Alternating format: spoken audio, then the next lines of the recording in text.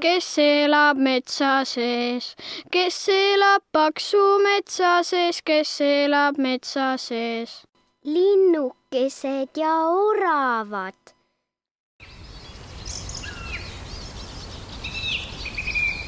ja ribased.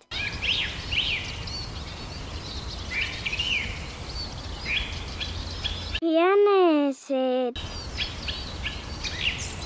oi, veel hunt ka. kes elab metsa sees, kes elab paksu metsa sees, kes elab metsa sees. karud, kes elab metsa sees, seal elab päkapikk. mis teeb see päkapikk?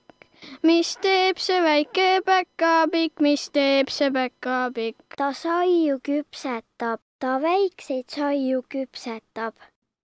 mis maksab saiapätt? Mis maksab sinu saiapäts?